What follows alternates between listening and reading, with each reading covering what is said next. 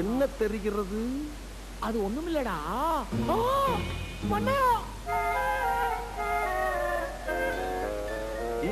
ஆமாம் உன் பெயர் என்ன? அரங்கவாணி வேலையெல்லாம் முடித்துக் கொண்டுதான் மேலே பார்த்து கொண்டிருந்தாயா? இல்லை பார்த்து கொண்டே பார்த்து கொண்டிருந்தேன் காலையில் ஒன்பது பத்துக்கு வேலைக்கு வருவது. ஈட்டியை நீட்டி பிடித்தபடி சுவரோடு சுவராக பள்ளியை போல் ஒட்டி இருந்துவிட்டு மாலை ஐந்து மணி ஆனவுடன் வீட்டுக்கு ஓடி விடுவது. இடையில் ஒரு மணி நேரம் உணவு விடுமுறை வேறு. ஐந்தறிவு ஜீவன் போல் உங்களுக்கெல்லாம் ஒரு வாழ்க்கை. கேட்டால் அரசாங்க உத்தியோகம் என்று வெளியே பீத்திக் கொள்வது. அல்லக்கை முண்டமே. ஒழுங்காய் வேலை பார்ப்பவர்கள் கூட உன்னை பார்த்து கெட்டு விடுவார்களா மாதம் பிறந்தால் சம்பளம் வாங்குகிறாய் அல்லவா?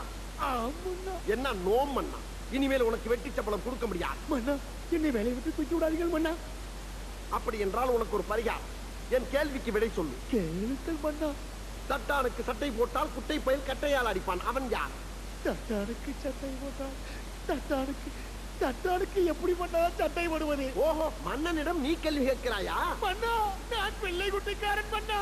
இதற்கு இது பதில் இல்லையே. இல்லை மன்னா அவனுடைய ஆண்மையின் பெருமை பற்றி பேசிக் கொண்டிருக்கிறான். புரியவில்லையே. பிள்ளை குட்டி பெற்றவனா ஐயோ மன்னா தட்டா பூச்சிய பத்திய பரம்பரைக்கே தெரியாது. எனக்கு ஒன்றுமே தெரியாது மன்னா. இவனை விட்டு விடுங்கள். அவனிடத்தில் கேட்போம். அடே அங்கிருப்பவனே உனக்கு தெரியுமா? அடே உன்னை தானடா அடே.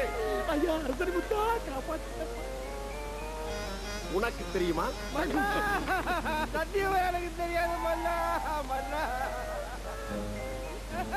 அவனிடம் கேட்போம். உனக்கு? நான் இல்லை